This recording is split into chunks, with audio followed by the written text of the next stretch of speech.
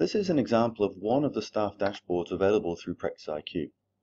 We've got a couple of templates now, depending on the different data you use. This one um, is aimed at uh, you know, productivity information, but it also includes budgets uh, straight out of the practice management system. So it, it shows those here, um, and it also includes them on a rolling 12-month basis on the middle chart here. Some of the other things that uh, we focus in on for an individual staff member is the uh, breakdown of their non-billable time, just to give them an idea of what they're coding things to. Um, we've got our traffic light systems here around the main KPIs for productivity utilization.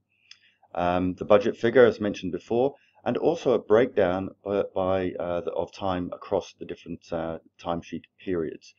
Um, the color coding there is also from a billable hours point of view, whether you've reached the target uh, for those individual periods. The other main section on the staff dashboards is a workflow to-do list. So towards the bottom of the screen here, it's just a list of jobs uh, that they're currently responsible for. Anywhere uh, you see a plus button uh, within a Practice IQ format, uh, you simply hit the hit the plus button and you will drill through to some detailed information on that specific item. In this case, it's a, a matter or a job question. The same thing applies uh, for any of these uh, uh, traffic lights. Um, if you hover over any of the traffic lights or any of the bars or any seg segments within the uh, dashboard, you will get additional tooltips, some information, and also instructions on whether you can drill through to the detail or not.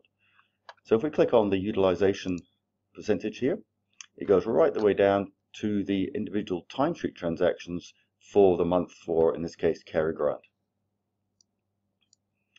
So this is just an example of one of the uh, staff dashboard templates that are available through Practice IQ. If you want to see more, by all means get in contact with us and uh, let us uh, and let us talk you through some of the different options that are now available. Well, I hope you found this short video of use.